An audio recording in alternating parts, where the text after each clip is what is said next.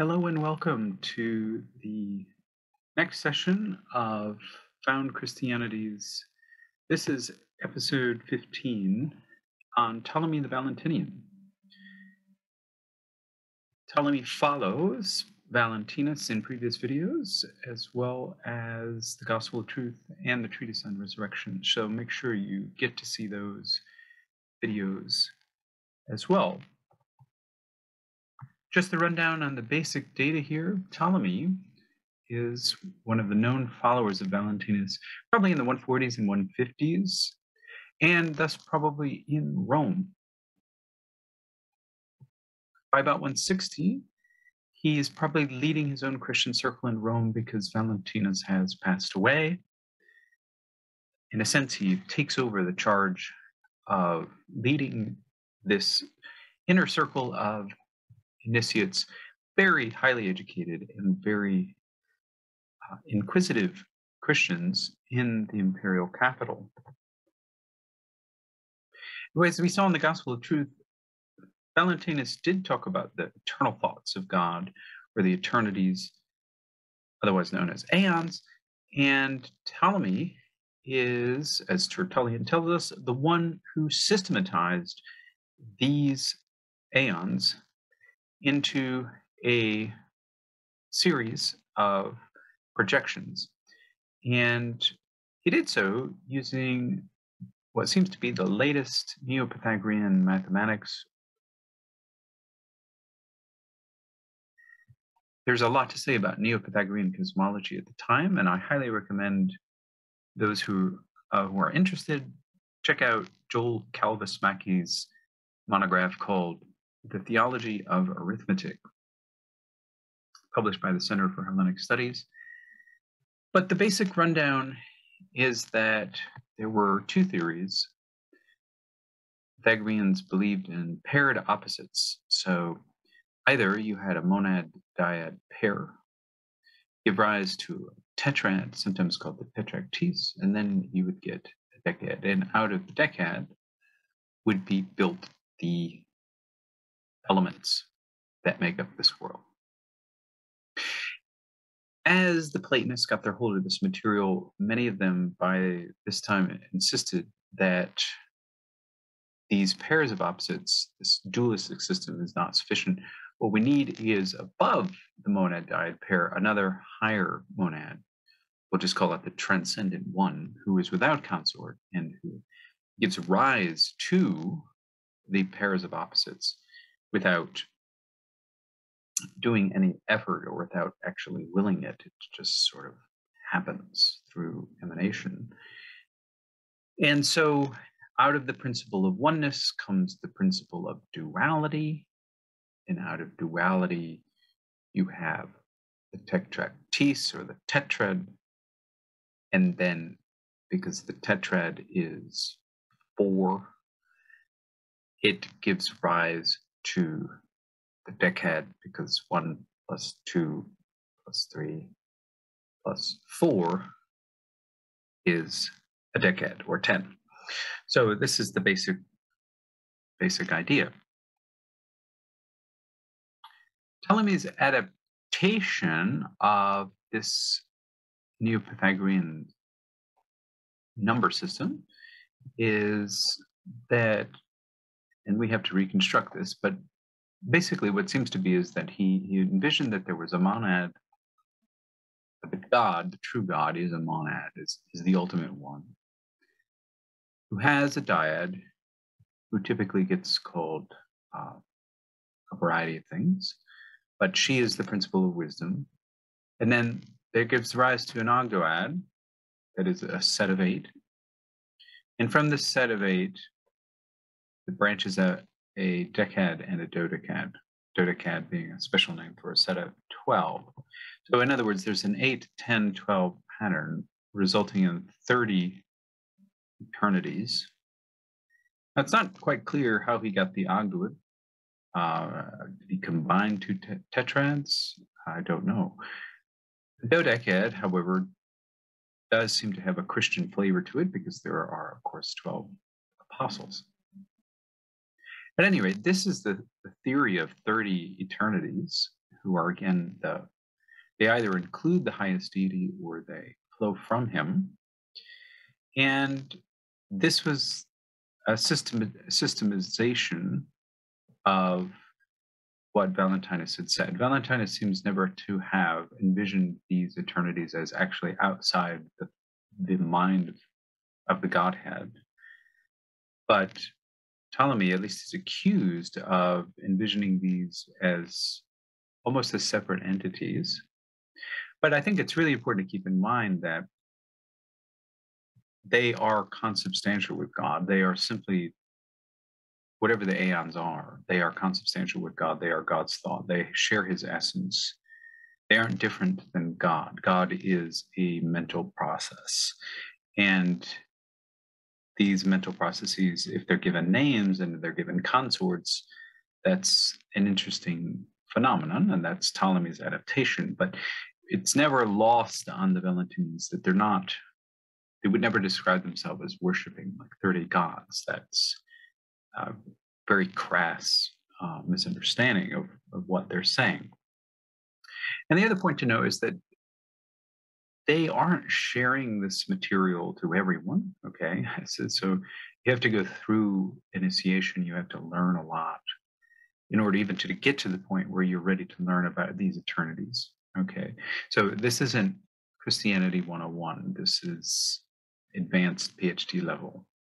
How did the world arise? kind of Christianity. But the point here is that you have very highly educated people who are really interested in the origin of the world and are ready to employ other systems, including the latest mathematics, in this case, Neo Pythagorean mathematics, to help them understand the production of the world. Now, what Ptolemy is better known for, and what I discuss more in the chapter on found Christianities, is his theory of the creator. And this we're very lucky to have this because uh, Epiphanius in the fourth century quotes an entire letter of Ptolemy. And it's a letter to a, a lady named Flora, whom he is trying to convince about his, his position on, on the creator. And Flora seems to have come across Marcion, whom we've dealt with. And obviously, Marcion has the theory that the creator is evil, as we've said. But Ptolemy tries to convince her that that's that's not actually the case. Continuing the standard Valentinian line here, the creator is not an evil being, but a neutral one, a being on, on his own moral and intellectual journey. And you can tell what type of creator, what type of being the creator has, his character, just as Marcion did, from the, the kinds of laws that he gave. And some of the laws are um, bad. Um, as Ptolemy said, some some are interwoven with injustice. So, for instance, the principle "eye for an eye." There's a famous saying of Gandhi that if we really lived by the principle of eye for eye, we would all be blind. It's an unjust principle, and it's really actually quite horrid when you think about it. There's no indication that this is meant metaphorically. Uh, the Jewish God wants, you know, eye for eye, hand for hand, foot for foot, and uh, this is really how justice was was done in the in the ancient Middle East. But not everything is inwoven with injustice. Sometimes there's there's a good law, like don't kill people, uh, obviously part of Ten Commandments, but it's imperfect. And Jesus, when he comes, he comes to perfect that law. So Jesus says, you know, don't even get angry. And that, Ptolemy says, is the perfection of the law. And then there are laws which, as, as Gentile Christians like to emphasize, there are, there are Jewish laws which are entirely symbolic. And one of these is the Sabbath.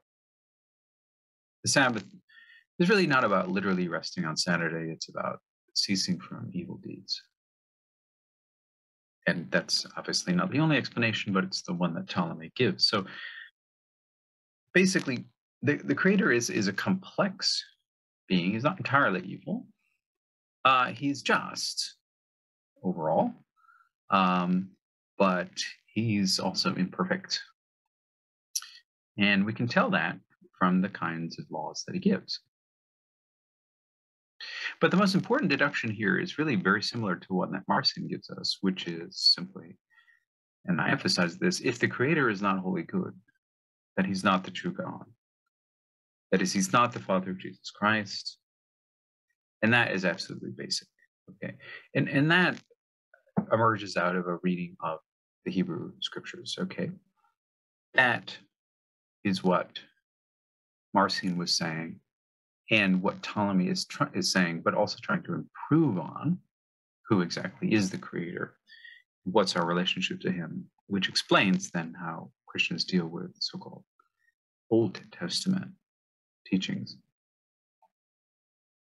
Well, if you we, if you get to know Ptolemy, unfortunately, there's not a whole lot. But if, if you really study again his letter to Flora, uh, you get the sense that this is a Christian teacher who, like many other Christian teachers, is part of a larger church network. But he's teaching advanced courses, as it were, freelance. So he has a, a circle of disciples. So they, they probably meet together independently of the normal liturgy. Okay and they get together and they do advanced Christian instruction. It is a kind of school, but the school is also religious. They are really trying to understand the mysteries of the universe, and they are doing so in as part of their Christian worldview. So it's not a secular school, but they are they have formed a distinct circle. But the important thing is, I I don't see much evidence of Ptolemy thinking that he's part of a separate church. Uh, he's he's part of a church in which there are many different types of Christian, and he totally acknowledges that. So there are Christians who would never, ever, ever want to talk about anything intellectual. Ptolemy has, uh, you know, knows that perfectly well. Uh, there's there's Christians that would reject his teachings. He knows that very well, and then there's also Christians who accept his teachings and who have this spirit of inquiry which indicates that they are have a different kind of mentality and that they are whom Valentinians like to call the spirituals, whereas uh, most Christians are, were uh, were not actually overly intellectually inclined, and in some cases they are, there are still parallels today. It's the very point that Ptolemy and his circle was integrated into early Catholic networks. That is, they went to Catholic services. This is a point that irked Irenaeus, and it's really what inspired him to write his five volume, okay, a huge, huge work called The Refutation and Overthrow of Knowledge, here, Gnosis, falsely so called. This is usually uh, called just for short against heresies. But it's it starts as a criticism of Ptolemy, and, and the Valentinians are the chief object of attack because they are in fact the most dangerous to Irenaeus because they are part and parcel of his own ecclesial network. And he doesn't like that, and he's not ready to cast them out. Whereas they seem to be perfectly happy to belong to the larger Catholic, early Catholic network and are wondering why people like Irenaeus are calling them names like heretic and asking them to leave. In fact, they don't leave. And it's very important, you know, not to confuse heresiological rhetoric for what's going on on the ground socially. They they don't leave, and they don't seem to leave until really that is, they don't seem to form separate churches really until about the, the early third century. Well, I just will close by thanking all of you for your support. It's very highly appreciated, and I hope you're getting a lot out of this. Thanks so much for your comments, and I hope everyone enjoys this day, and I hope that I can catch you for the next video. You.